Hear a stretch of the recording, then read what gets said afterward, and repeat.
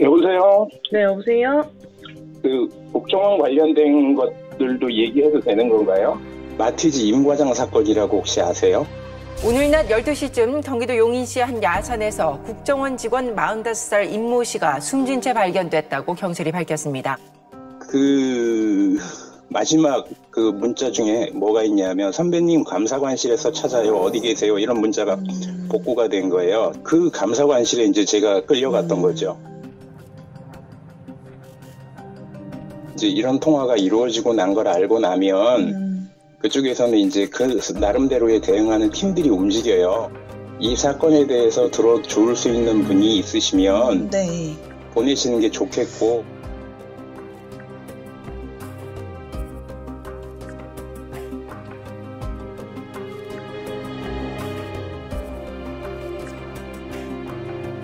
정보기관원들이 이유 없이 사망한 거예요. 경위가 밝혀진 적도 없고 의문만 남아 있어요.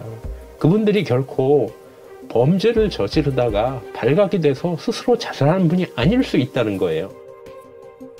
오랜 고민 끝에 제보를 결심했다는 남자.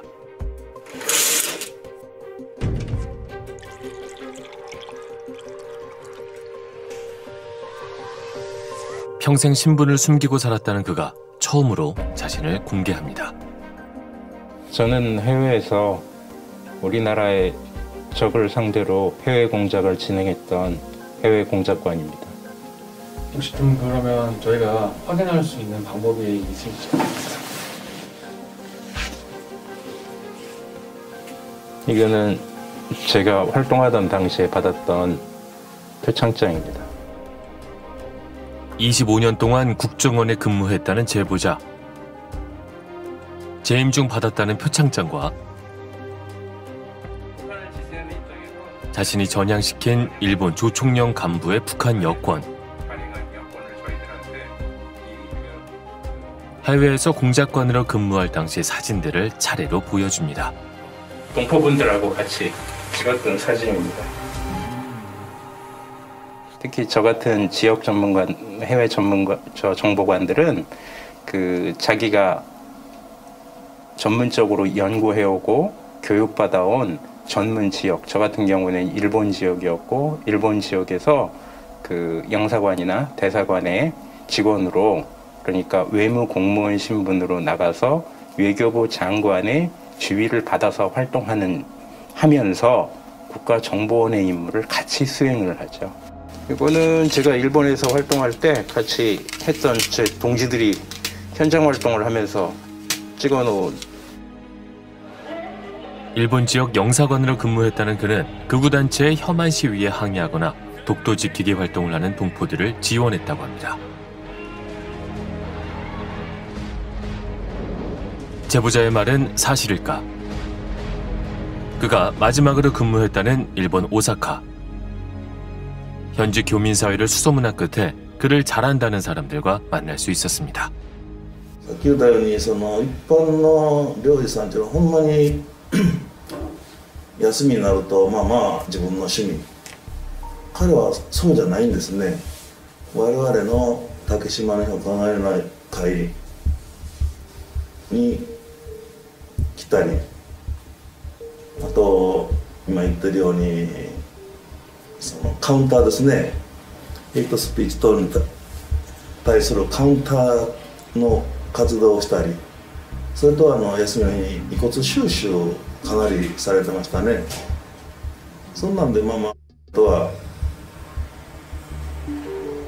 本当に今までの領事に見てない領事ですね어저는그비올때마다저희저희들그타국에살고있는저희들불러서그지짐이먹자그같이그 막걸리 마시는 오늘은 비가 오니까 그, 그렇게 불러주셨을 때 그 마음이 엄청 있지 않습니까? 기억이 나서 어우 진짜 목이 목이 메이더라고요. 저희들은 기대했어요. 명성을 가시면 아마 이렇게 공, 공을 많이 세우고 이렇게 그거 하시는 분은 아마 표창을 주시고 그 승진을 시켜 시켜 주실 거라고 생각했는데 이상하게 연락이 안 되고. 한국으로 돌아온 직후인 2015년 10월 28일, 그는 운명을 바꾼 한 통의 전화를 받았다고 합니다. 갑자기 전화를 받았어요. 그러면서 감사원실 밥 직원입니다라고 얘기를 하면서 오사카 근무하셨죠? 예, 그렇습니다. 했더니 감사관실로 오시기 바랍니다. 전화를 받고 찾아간 감사관실. 들어갔더니 방 안에 회의용 테이블 긴 게 있고 의자가 쫙 있고 그래서 회의, 회의장 회의실로 쓰는 그런 거였어요. 근데 들어가서 이제 당연히 그럼 여기 앉으라고 그럴 줄 알았는데 그게 아니고 벽 쪽으로 이 사람이 다가가더라고요. 그러더니 하얀 벽인데 뭐 문고리 같은 거를 확 이렇게 뭐 밀어 잡아당긴 것 같아요. 잡아당기니까 벽이 열려버린 거예요. 초등학교 학생들 앉는 책상 두 개가 있고 의자는 어른들이 하는 의자가 있었고 들어가라고 그러는 거예요. 근데 너무 좁아서 들어갈 수가 없어서 결국은 이제 책상을 들고 한쪽 발씩 놓고 들어가서 들고 이렇게 들고 한 발씩 놓고 들어가서 다시 내발 네 위에다가 얹은 거예요. 그러니까 이제 허벅지하고 배하고 이게 딱 고정이 돼 버리잖아요. 이제 뒤로도 못 움직이고 뒤에 벽이 있고 좌우로도 못 움직이고 공간이 없고 앞을 바라봐야 되는데 하얀 벽이었어요. 하얀 벽으로 둘러싸인 비좁은 방, 그곳에 있는 물건들도 이상했다고 합니다. 그림이 진짜 이상했어요. 왜냐하면 동양화에 수목화였는데 액자가 서양화 액자인 거예요. 근데 그러니까 그 그림도 좀 굉장히 황당한 게 그 강가에 그 작은 나룻배 하나가 떠 있어요. 그리고 나머지는 여백이고 이제 잔물결이 있는 건데 하얀 벽을 계속 보고 있으면 시간 감각, 공간 감각이 없어져요. 그러니까 이제 내가 어디에 있는지 잘 몰라요. 근데 유일하게 하얀 벽을 안 볼 수 있는 방법은 바로 옆에 있는 그 하얀 그 수목화를 보는 건데 뭐 계속 보고 있으면 이제 흔들려요. 그러니까 그 배가 강물에서 진짜로 흔들 흔들 움직이는 것처럼 그 잔물결이 있는 게 느껴지면서 몸이 둥둥 떠서 흔들리는 느낌까지 드는 거예요. 그거는 지금도 그게 생각만 해도 그거는 막 공포예요, 저는. 그리고 앞에는 그 저거가 있었어요. 그 모니터가 컴퓨터 모니터가 있는데 이게 요즘 쓰는 컴퓨터가 아니고 예전에 그 브라운관으로 돼 있는 그뒤 어, 그 엄청나게 크고 그 밑에 플로피 디스크라고 혹시 아세요? 그 집어넣는 그런 거예요. 그러니까 그 당시 국정원에서는 전혀 안 쓰는 예전에 썼을 법한 그럼 되게 오래된 PC가 있는데 왜 불렀는지 알지? 그러면서 저거 뭘뭘 음, 뭘 그때부터 이제 시작이 된 거죠. 그 내용이 너무 황당해요. 그러니까 당신이 협조망을 만나서 커피를 사줬는데 그 커피값이 3,000엔을 넘으면 안 된대요. 근데 그 3,000 몇백 엔을 내가 지출을 했다는 거예요. 이상하잖아요. 너무 이상해서 아, 그러면 영수증을 보여달라고 그런 것도 없이 그냥 적으라는 거예요. 그러면서 하는 말이 굉장히 황당한 게 제가 커피 매니아라고 얘기를 하는 거예요. 제가 커피 매니아이기 때문에 협조자를 만나면서 그 3천엔까지 써야 되는데 그 이상의 돈을 사용을 하고 그 나머지를 거기서 파는 커피나 물품으로 사치를 하였다 이렇게 적으라고 얘기를 하는 거예요. 일단 첫째 저는 커피 매니아가 아니에요. 그리고 그런 사실이 없었고. 근데 그때부터 이제 눈 똑바로 뜨고 앞을 쳐다보고 있으라고. 그럼 말도 없이 그냥 그런 상태로 계속 벽을 보고 있고 그렇게 이제 3일 동안을 갇혀 있었던 거죠. 3일 동안이라는 거는 이제 업무 시간이 다 되면 나가라고 그러면서 자기가 문을 열고 나가라 그래요. 그리고 내일 보자고. 3일 동안 계속되었다는 감사. 국정원에서 감사 거부는 중징계 사유이기 때문에 감사관의 말에 따를 수밖에 없었다고 합니다. 막 너무 안 좋아지고 심장 뛰고 막 그래서 눈을 감았어요. 눈 뜨고 똑바로 보라고. 자세를 똑바로 하지 않으면 감사를 거부한 걸로 처리하겠다고. 그때부터 이제 호소는 했죠. 지금 내가 너무 상태가 안 좋다. 어, 좀 뭐좀 쉬게 하든가 화장실을 좀 보내달라 할 때 화장실도 못 가고 내가 두려운 게 이대로 계속 가면 내 의지가 사라져서 하자는 대로 할 것 같은 두려움이 드는 거예요. 잊혀지지 않는 게 3시간 버티 사람은 없어. 그 얘기는 기억을 해요. 제보자가 감사를 받았다는 방은 어떤 곳이었을까? 들어오게 하고 그 의자 같은 걸로 그의 증언을 토대로 문제의 방을 재현해 보기로 했습니다. 방의 크기와 구조는 물론 하얀색 벽과 물품들을 그대로 재현한 방입니다. 과연 이 하얀 방에는 어떤 비밀이 숨겨져 있을까? 전문가에게 이 방을 보여주고 자문을 구해보기로 했습니다. 어, 되게 좁네요.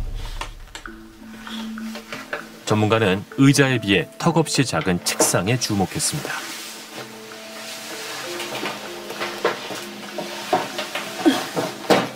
공간 자체는 굉장히 압박감을 느끼게 설계가 이미 되어 있고 내가 내 몸을 움직일 수 있는 여지가 있다는 것과 없는 건 굉장히 큰 차이가 있어요. 그러니까 내 의지로 최소한 내 몸이라도 움직일 수 있다라는 감각이 살아 있으면 통제감을 완전히 잃진 않을 수 있거든요. 근데 이제 이 경우에는 내 몸조차도 내가 마음대로 움직일 수 없다라는 생각을 가지게 만드는 거죠. 제보자가 3일 내내 쳐다보고 있었다는 하얀 벽. 하얀 벽을 계속 보면 어떤 일이 일어날까? 이게 시야에 들어오는 자극 정보가 너무 많아도 문제이지만 너무 없어도 굉장히 뇌에선 혼란을 느끼거든요. 이 공간에 아주 오래 머무는 경우에는 시간 감각을 상실하고 공간 감각도 좀 상실하고 그래서 어떤 면에서는 정말 심리적으로 분리되는 방에 있었다는 낡고 오래된 물건들 역시 예사롭지 않다는 전문가.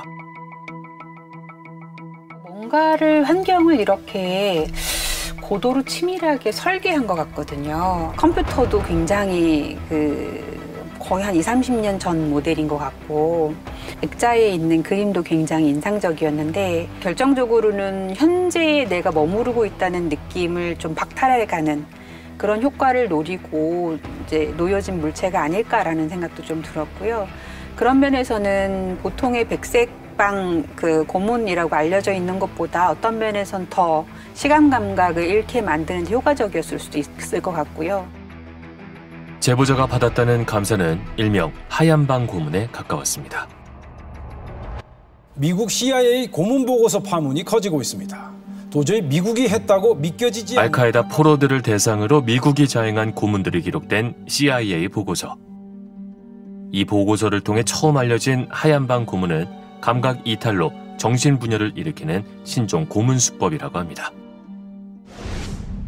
하얀 방에 8개월 동안 갇혀있던 한 수감자는 부모의 얼굴조차 잊어버렸다고 합니다.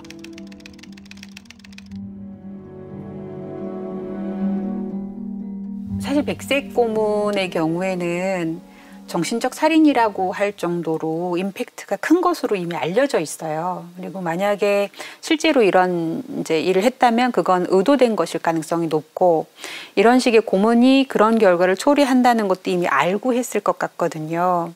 감사 3일째는 자신의 사무실조차 찾아갈 수 없었다는 제보자. 나는 3일 동안 있으면서 여기서 나가는 생각만 했거든요. 이게 끝날 수 있을까? 일단 여기를 벗어나야겠는데 어느 방향으로 걸어 나가야 될줄 모르겠는 거예요. 저는 25년을 그 같은 사무실을 썼는데 사무실을 간다고 나왔는데 의식이 돌아왔는데 지하였어요. 청사에. 누구보다 놀란 사람은 그의 아내였습니다. 사랑이 달라요. 혼이 빠진 것 같았어요. 네, 멍해가지고 그러니까 횡설수설하고요. 어, 그러니까 막 뜬금없는 소리를 이렇게 정말 앞뒤 없는 그런 소리도 하고 그다음에 뭐 미안하다 뭐, 뭐 미안하다 그러면서 뭐 창가를 소송소송하고 이, 이, 상태로 제가 두면 큰일 나겠다는 생각이 들더라고요 이 상태로는 자살을 할 것 같다 이러니까 다음 날 아내와 함께 병원을 찾은 제보자. 그를 진료한 의사들은 모두 해리 장애라는 진단을 내렸습니다.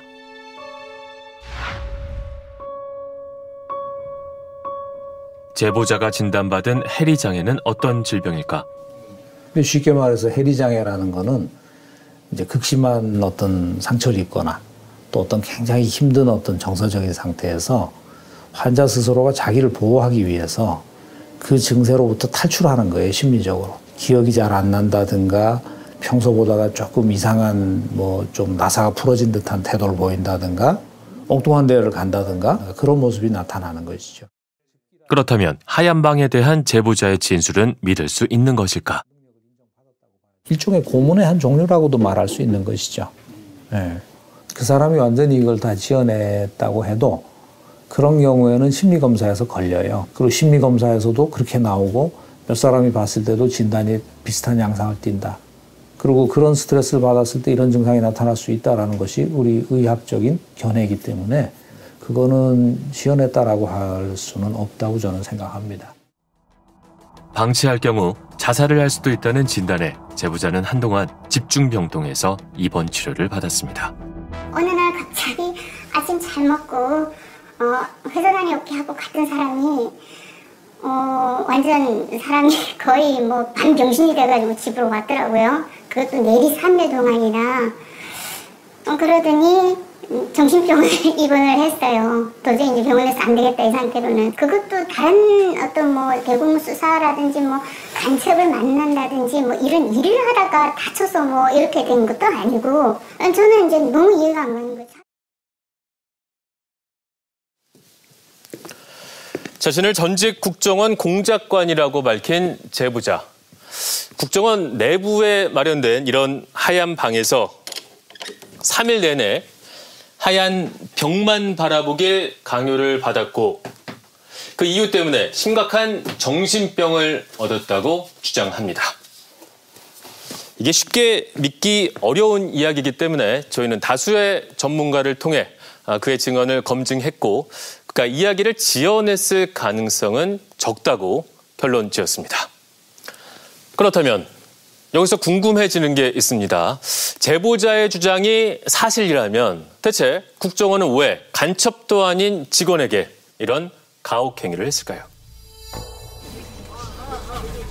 2012년 대통령 선거를 앞두고 터진 국정원 댓글 사건.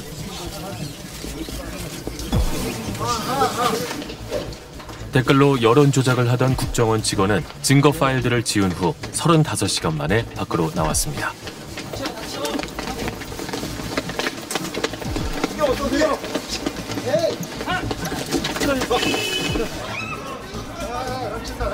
국정원 댓글 공작을 주도한 인물은 원세훈 당시 국정원장이었습니다.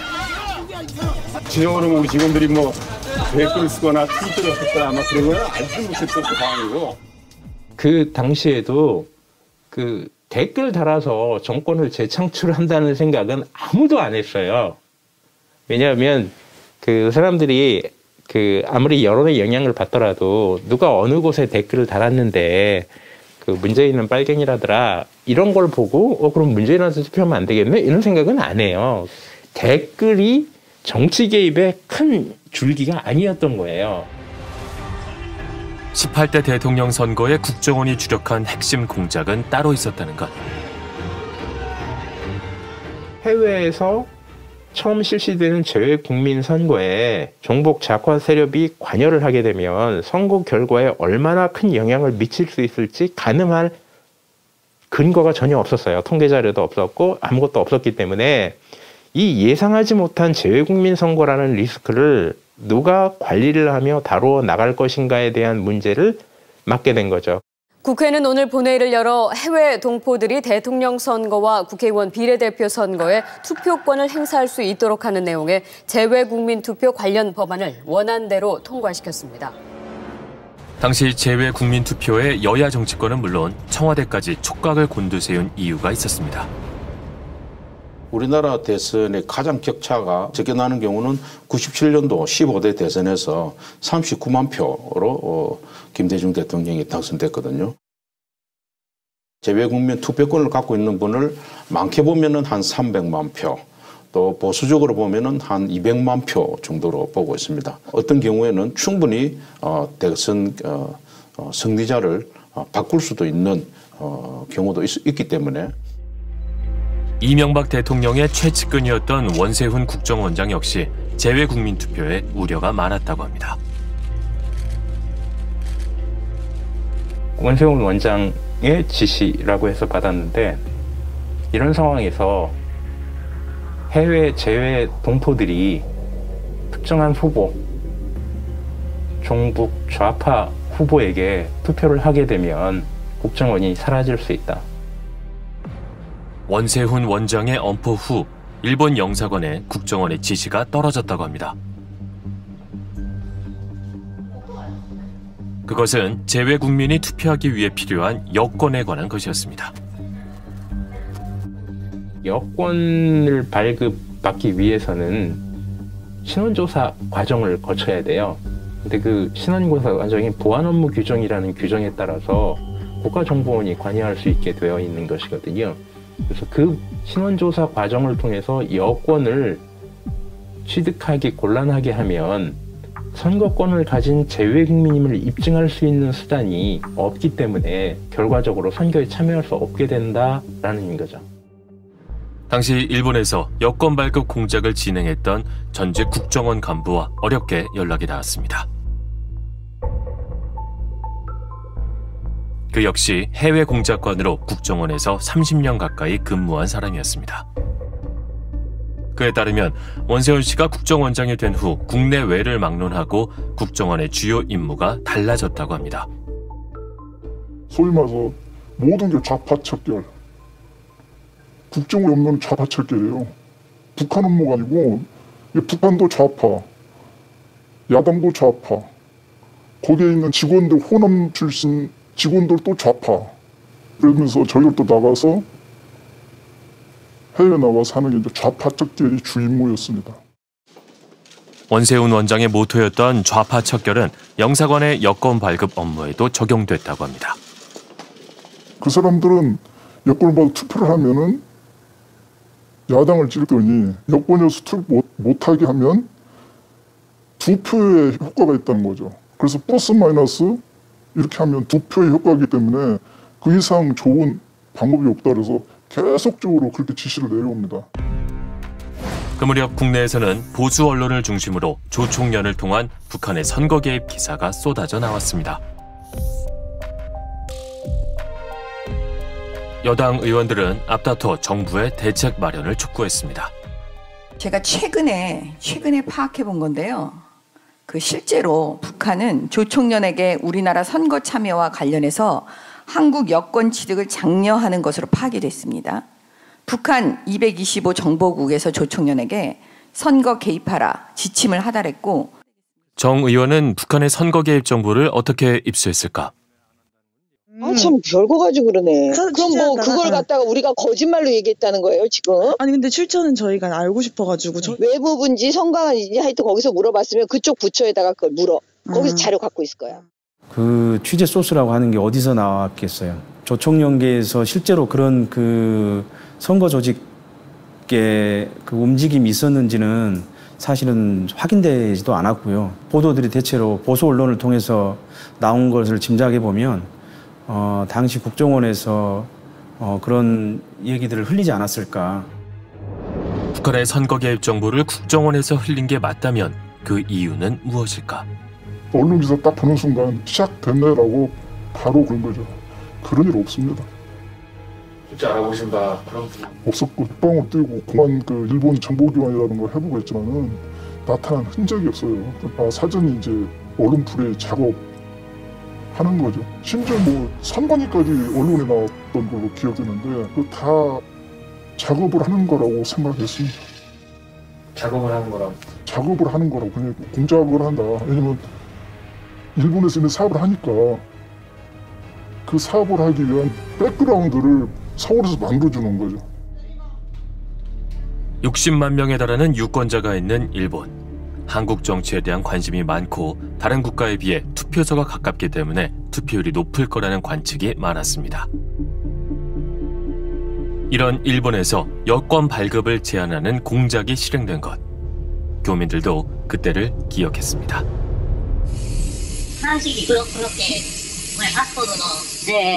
뭐, 뭐, 뭐, 아 그래요? 네. 네,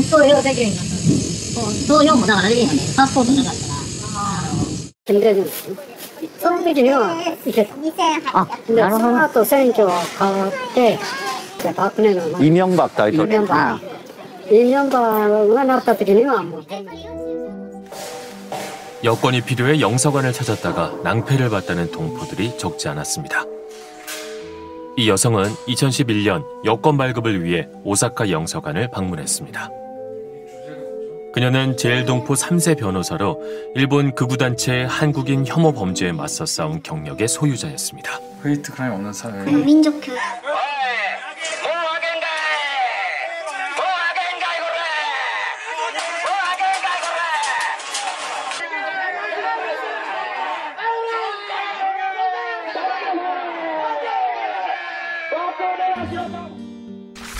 일본에서 제일교포 차별에 대한 손해배상을 최초로 이끌어낸 변호사.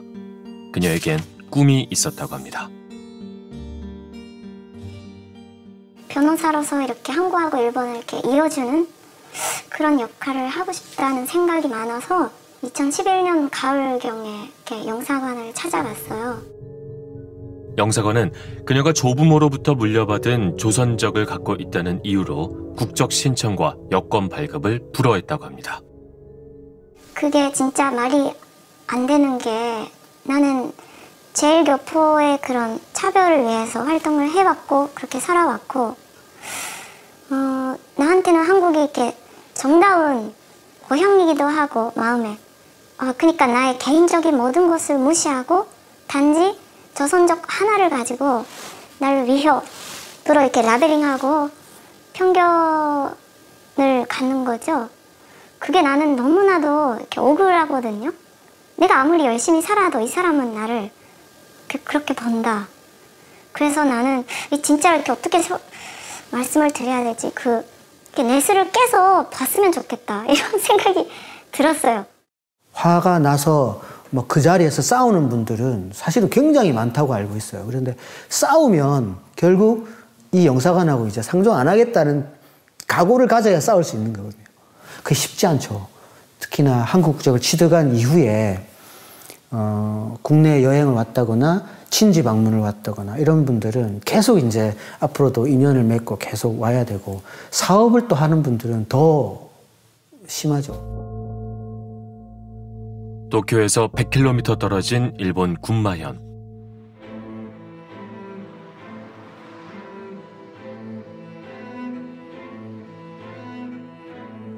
김마리 씨 가족은 일제강점기 부모 세대가 정착한 이래 손주까지 4대째 이곳에서 살고 있습니다.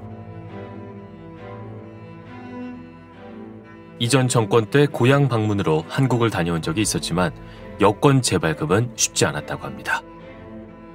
조선학교 출신이란 점이 문제였습니다.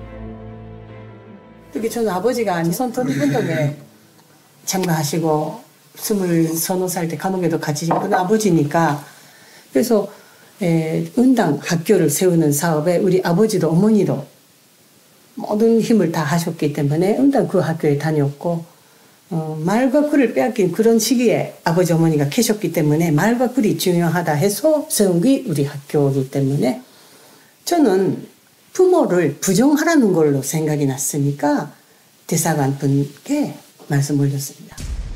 면담 과정에서 영사관은 김마리 씨에게 소속된 모임에서 탈퇴하겠다는 내용 증명까지 요구했다고 합니다. 네, 내용 증명이란 것이 일본에서도 막딴 나라에서도 그런데 법적 수단에 있어서 증거가 된다. 법적 수단의 증거 이거 뭡니까? 우리가 무슨 죄를 지었어요? 법을 어겼나요? 아니죠. 그냥 파스포도그 얻기 위해서 신청했고 그 또 무슨 법을 어겼나요? 우리가 어긴 것이 아니라 그때 나온 분이 어긴 거 아닌가 그렇게 지금 생각이 나요. 이런 심리적 압박도 국정원의 공작이었다고 합니다. 이런 식으로 심리적 압박을 주는 거예요. 그럼 그 사람이 영상와서 30분, 1시간 면담하고 나면 혼쭐 나겠죠? 이제 그렇게 하면 친구들한테 소주 한잔 하면서 또 얘기할 거 아니야. 갔다 왔더니 뭐다 뭐다. 이런 그 심리적 압박을 주면서 그런 소문이 그런 친구들 을 통해서 제일 높은 사이에 퍼지게끔 만드는 게 이런 것들이 이제 공격이죠. 현장에서 느끼셨을 때 직접 이런 대상이 됐던 분들이 몇명 정도? 뭐는 일본 지역에서 보면 한 2, 3만 명 생각해요 저는. 국정원의 공작은 성공한 것으로 보입니다.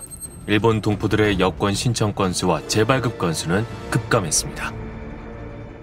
지금 제가 말씀드리는 여권 문제는 국가 공무원인 국경원 정보관이 대한민국 국민을 직접적으로 어떻게 보면 겁박 강제하는 이건 직접적인 유해 행동이에요. 근데 이거는 이제 해외에서 일어난 일이기 때문에 국내에서는 아마 전혀 몰랐을 거고 여권 발급을 제한하는 것은 법적인 근거가 필요한 사항입니다. 이명박 정권은 이 문제도 간단히 해결했다고 합니다. 법이 아닌 시행령을 바꾼 것. 개정된 시행령에 따르면 재외동포의 여권 유효 기간은 사상 검증을 통해 얼마든지 제한할 수 있습니다. 이게 국회를 거쳐서 개정하는 굉장히 어렵다라는 결론에 이르렀고요. 여권법 시행령을 통해서 여권 발급을 제한하고 그 과정을 통해서 제외 동포들 중에서 좌파 성향의 동포들이 선거에 참여하지 못하도록 하는 방안이 결정이 됐죠. 법이 아닌 시행령으로 제외 국민의 여권 발급을 제한한 것은 문제가 없을까?